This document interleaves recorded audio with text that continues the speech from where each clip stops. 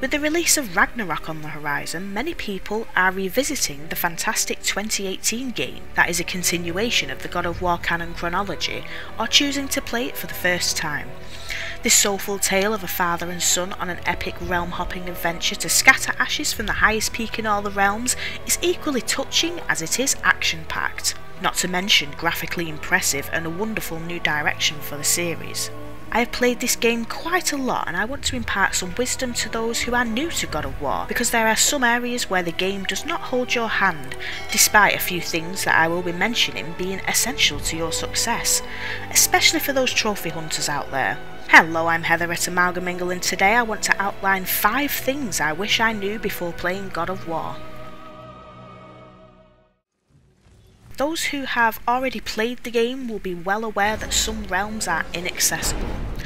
When I first played God of War, I had no idea that they couldn't be travelled to, and I assumed that I had missed something, and I searched the world far and wide for an uncompleted quest. But alas, despite being heavily referenced in the game, the three realms of Asgard, Vanaheim, and Svartalfheim cannot be accessed. Asgard is one of the most well-known realms of Norse mythology and is depicted as a city with high towers protected by a great wall. Although Asgard itself hasn't been shown so far, we are able to hear stories about it and are awarded pieces of Asgardian steel.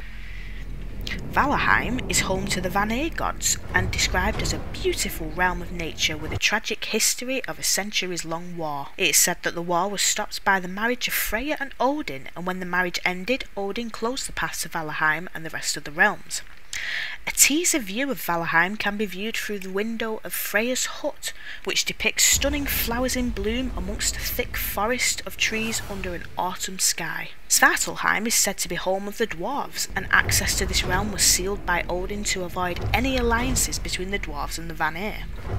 This realm seems to be the most mysterious of the three, as we know very little about it. However, the realm Travel Door does depict a forested world under a night sky. Similar to Asgard, Svartalfheim steel can be found in rare chests around the world in God of War. All three of these realms do show up in the central room where you can travel to different realms, but they still cannot be travelled to. The reason for this is uncertain. However, I believe Santa Monica Studios intended to grant access to these realms through DLCs, but these DLCs never happened. We cannot say for certain if these realms will be explored in Ragnarok or not, but after hearing all of Mimir's tales about these inaccessible realms, my interest is definitely piqued. Runic attacks are essentially elemental magical abilities that can be equipped to Kratos' weapons and produce special attacks that can give you a boost in battle. Weapons modding and attachments is not something we haven't seen before in other RPGs, however, these runic attacks can sometimes mean the difference between winning and losing in battle. There are several runic attacks that can be complete game changers and can be acquired in different ways. Some are gained as part of the main story, some are given as a reward for defeating certain enemies in battle, and some can be bought at Brok and Sindri's shops providing you have the right resources. My personal favourite runic attack is the Wrath of the Frost Ancient, which can be gained quite easily very early in the game. It's an aimed light runic attack that shoots a powerful ice beam from the Leviathan axe that stuns and damages all enemies. There are a lot of different runic attacks that suit everyone's playstyles and can be equipped to each weapon. Furthermore, Atreus also has his own runic summons that conjures up astral allies onto the battlefield and can be extremely useful. I do have a lot of different attacks that I would like to discuss, but I don't want to include any spoilers in this video. I recently created a list video on the best runic attacks and runic summons in God of War, so be sure to check that out. So my next entry is all about resurrection stones. Resurrection stones are a little bit of a secret in the game because at no point does anyone in the game mention them or explain. You simply have to stumble across them and realise the potential all on your own. Resurrection stones are a fantastic resource that allows Atreus to save Kratos from the brink of death and can be purchased at Brok and Sindri's shops dotted around the world. I have to be honest, I don't know if I could have completed this game without them, let alone got the Platinum Trophy. The game does not highlight resurrection stones for the player as far as I'm aware, but seasoned God of War players will know how useful and often crucial having one at hand at all times can be.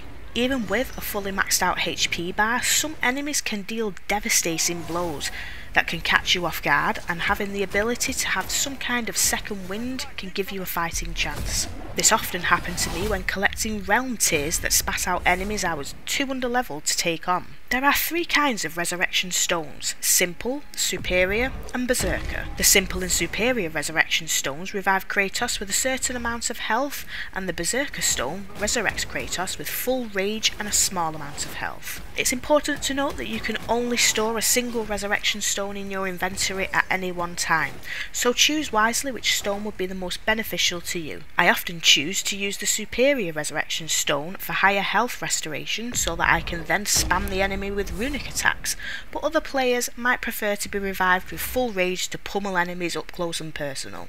It is a shame that only a single stone can be held at any time, however if the player was able to stock up then I imagine this would give us an unfair advantage in the game and make it way too easy.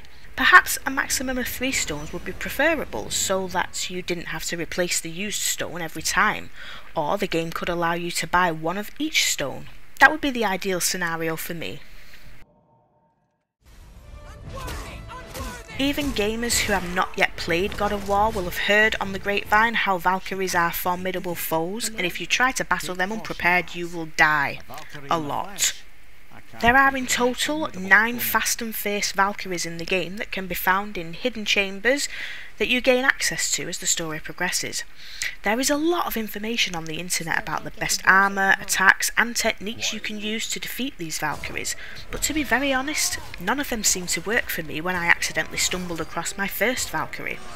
After many failed attempts where I continuously got my face literally stomped on, I found that the best defence is a good offence. Max out your runic attack stat as much as possible, have a resurrection stone on standby, and equip the Talisman of Unbound Potential. This talisman is fantastic because it refreshes all runic attacks and allows you to continually maintain the offensive. Of course, during battle you will also need to dodge, roll and run around to avoid enemy attacks, but spamming runic attacks is the best way to survive a Valkyrie encounter. I have my personal favourite runic attacks and runic summons, but it is best to experiment with them and find out which attacks work best for you and your playstyle. Unlike some other games where companions are nothing but a useless liability, Atreus is actually a very useful and powerful ally. I often found myself having Kratos hang back and placing Atreus and his bow in the forefront in battle, particularly with flying or unusually agile enemies such as nightmares and revenants. It is easy to overlook Atreus' potential, but if you do invest in him, then you can clearly see how valuable he can actually be.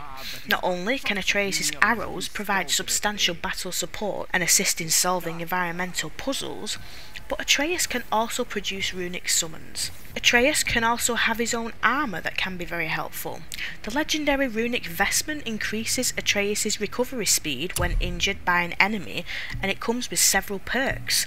The armour features Health Stone Assist, which gives Atreus the ability to find health stones and heal Kratos when he is injured, and the Health Stone Enhancement feature increases the potency of said health stones.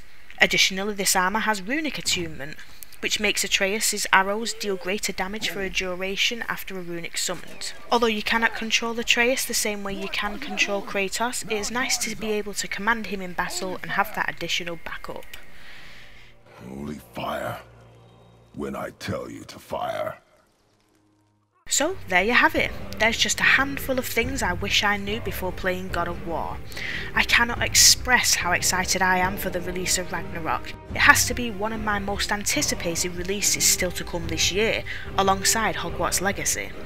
I really hope they are able to recapture all of the things that made God of War so special, whilst also exploring new personal conflicts. It will be very interesting to see how Kratos handles the parenting of a teenager. Anyways, let me know in the comments if you agree with this list. I've been Heather at Amalgamingle and thank you very much for watching.